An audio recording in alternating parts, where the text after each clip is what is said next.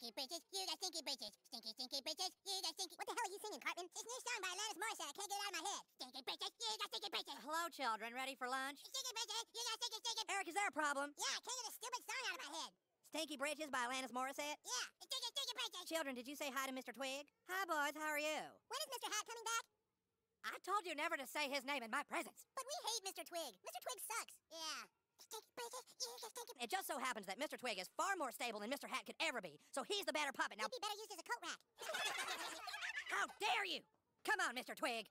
Hello there, children. Hey, Jeff, you got stinky bitches. Stinky, What did you say? He's singing some new hit song. Eric, why didn't you hear that song? It's all over the place, on the radio, MTV, everywhere. Well, I've been sodomized on Christmas. What, dude? Children, I wrote that song 20 years ago. You wrote it? Yeah, back when I used to be in the rock business. And now it looks like some big record company has published one of my songs. Wow, for it. Oh, I don't want any money. I'd just like to see my name on the credits, that's all. Then we should go to the record company. My dad's a lawyer, dude. He tells me about this stuff all the time. Well, all right. Maybe I will go. I'll play them my version of the song. Stinky bitches, you got those stinky bitches. So you see, Mr. Big Record Producer, Stinky Britches was something I wrote several years ago. Hmm, I really see no resemblance between that song and Stinky Britches by our artist Alanis Morissette. Huh? It's the same goddamn song. Now look, I'm trying to be cool about this, but you can't just rip people's music off. It's against the law. I am above the law! Mr. Chef, I'm afraid you leave me no alternative. We're going to sue you.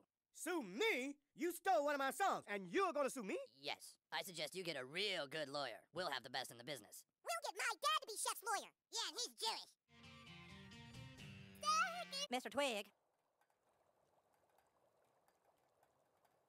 Ah! Mr. Twig! No! Who did this to you, Mr. Twig? Who?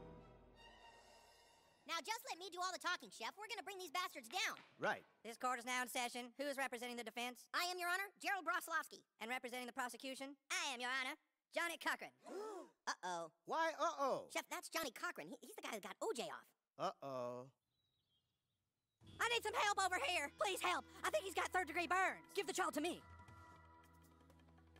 Is he going to be all right, doctor? Uh, is he going to live? It's a stick. Damn it, don't give me that medical jargon. Just tell me straight. Is he going to be okay? And so, on this 15th day of what is considered to be the most important trial of the day, Johnnie Cochran has appeared to defend capitalist records. The question now is will Cochran use his famous Chewbacca defense? What's a Chewbacca defense? I don't know. That's what Cochran used in the O.J. Simpson trial. God damn, I hate that Cochran guy. If he was here in front of me, I'd be like, hey, you stupid son of a bitch. You did... I'm, I'm gonna kick you in the nuts. I'm sure that would scare the hell out of him, Cartman. And so, in summation, ladies and gentlemen of the... Ladies and gentlemen of the supposed jury, Chef's attorney would certainly want you to believe that his client wrote Stinky Britches 10 years ago. And they make a good case. Hell, I almost felt pity myself. But ladies and gentlemen of this supposed jury, I have one final thing I want you to consider. Ladies and gentlemen, this is Chewbacca. Chewbacca is a Wookiee from the planet Kashyyyk. But Chewbacca lives on the planet Endor. Now think about that. That does not make sense. Damn it. What? He's using the Chewbacca defense. Why would a Wookiee, an eight foot tall Wookiee, want to live on Endor with a bunch of two foot tall Ewoks? That does not make sense. But more importantly, you have to ask yourself, what does this have to do with this case? Nothing. Ladies and gentlemen, it has nothing to do with this case. It does not make sense. Look at me. I'm a lawyer defending a major record company, and I'm talking about Chewbacca. Does that make sense?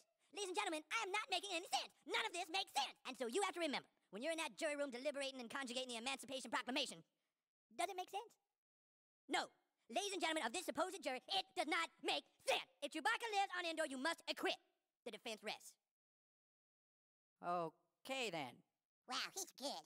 In a teary eyed courtroom, Johnnie Cochran has just finished his closing arguments, and as was anticipated, he did use the Chewbacca defense. Whether or not it worked is up to the jury to decide. How find you the jury? We find the defendant, Jerome Chef McElroy, guilty as charged.